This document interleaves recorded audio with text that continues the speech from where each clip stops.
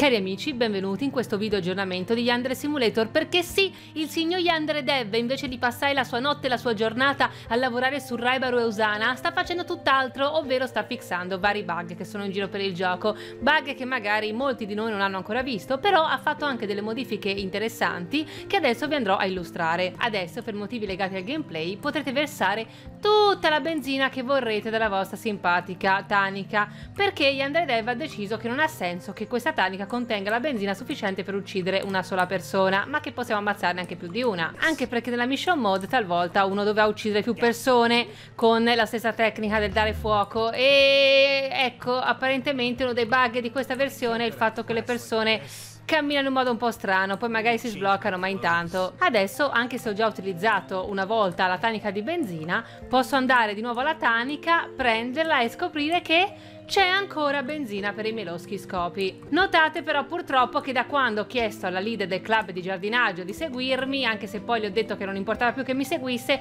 quando mi teletrasporto continua a seguirmi e che fastidio, accidenti. Visto? Ho potuto mettere un'altra trappola, il che vuol dire che potete dar fuoco a più persone anche durante la stessa giornata, senza per forza aspettare il giorno seguente, quando la benzina si è magicamente ricaricata. Avete presenti i problemi economici di Cocona? Che per cercare di accumulare un po' di soldi è costretta a dare appuntamento a uomini molto molto più grandi di lei, come si può vedere la sera quando si va nella città. Ecco, se voi la spingete di sotto dal terrazzo, oppure semplicemente diventate suoi amici e fissate il suo problema, rapendo Musume, eccetera, eccetera, vi accorgete che la sera eh, non ci sarà più nessuna cocona agli appuntamenti con uomini più grandi. E infatti qui c'è la panchina in cui Cocona sedeva con il suo accompagnatore. E ahimè, nessuna cocona sede più in questa panchina con il suo accompagnatore perché è morta. Ah, una piccola modifica alle Rainbow Girls che adesso passeggiano qui tranquillamente la sera. Adesso sorridono finalmente, tutte tranne quella con i capelli rossi. Lei non sorride, lei sorride, lei sorride, anche lei sorride. Eh, oh Caruto tu non c'entri, sorridono tutte praticamente, eccetto l'unica ragazza laggiù che invece è rimasta un po' musona.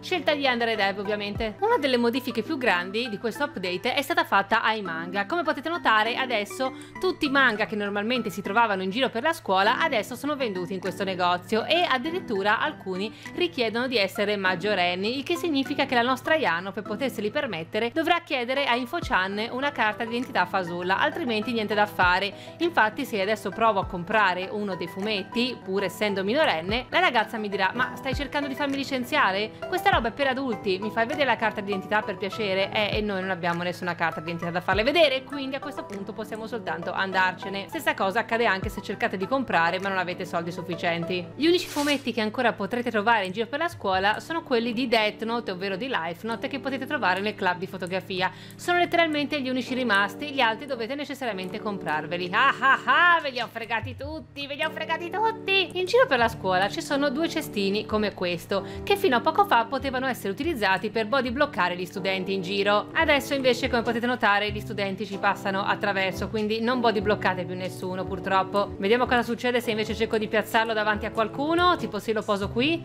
Niente, continua a passarci attraverso come se niente fosse, quindi non avete più la funzionalità del cestino come oggetto per bloccare le persone. Ecco, addirittura sembra che sia fatto d'aria, no, lo evitano oppure ci passano attraverso. Fantastico, il cestino è diventato inutile. Yandere Dev ha fatto anche un piccolo aggiornamento grafico alla texture dei lead che si trovano nel club di cucina. Apparentemente la grafica era un po' obsoleta e ha deciso di revisionarla. Avete presente le conversazioni notturne che la nostra Yano può fare su Discord, ovvero Yankor della sera? Per un bug non potevano più essere fatte se le avevate già sentite in una run precedente, anche se poi avevate ricominciato il gioco. Adesso invece questa cosa non succede più e potete comunque rivivere l'esperienza tutte le volte che ricomincerete la partita da capo. Alcune modifiche sono state subite anche dalla mission mode e come vi ho detto all'inizio di questo video, adesso la benzina potrà essere utilizzata più volte al giorno, soprattutto per questa funzione, la multi-mission, che vi permette di scegliere vari obiettivi casuali e magari anche di doverne dar fuoco a più di uno. Per esempio in questo caso, settando una missione random, ci è venuto di dar fuoco a Mecha e di dar fuoco anche a Tsubaki, cosa che non sarebbe possibile se non si potesse utilizzare la benzina più e più volte durante la stessa partita. Un'altra delle modifiche che sono state fatte, che però in realtà è un bug fix, riguarda la nostra Nemesis Chan,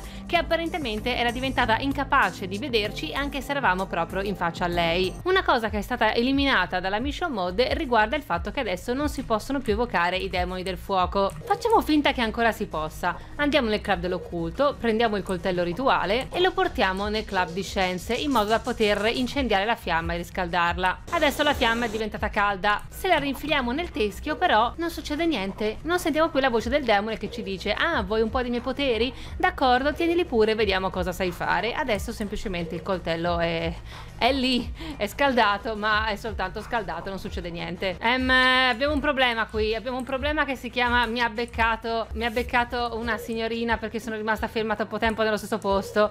Eh, scusi lei, si potrebbe anche togliere un attimo di mezzo. Nemesis, mi scusi eh. Mi scusi, ma io devo tenere d'occhio la mia vittima, non posso perdere tempo con lei. Eccoti qua, eccoti qua. Scusi, eh, mi scusi. Non volevo assolutamente ucciderla, forse volevo, non è un problema mio. Comunque, ragazzi, questi erano gli aggiornamenti più importanti che secondo me gli Andre Dev ha aggiunto negli ultimi giorni, anche se immagino che sarà ancora con la mente in fermento e che aggiungerà presto nuove cose. Lo so, lo so che tutti quanti stiamo aspettando Zaner Raibaru, ma mi sa che avremo ancora un po' da aspettare. Grazie a tutti, alla prossima con Kiriandere che uccide la gente veramente. Eterna Love, ciao! E mi raccomando, se avete qualche pensiero interessante su questo aggiornamento, scrivetemelo nei commenti. Ciao ciao!